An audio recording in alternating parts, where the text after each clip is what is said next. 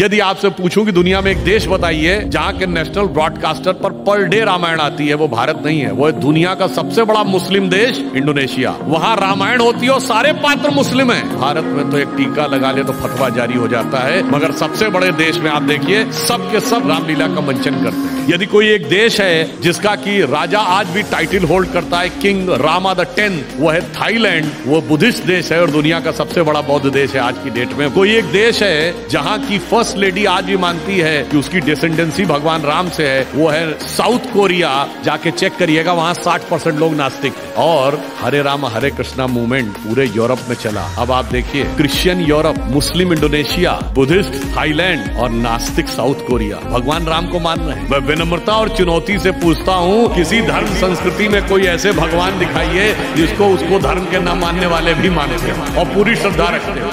हैं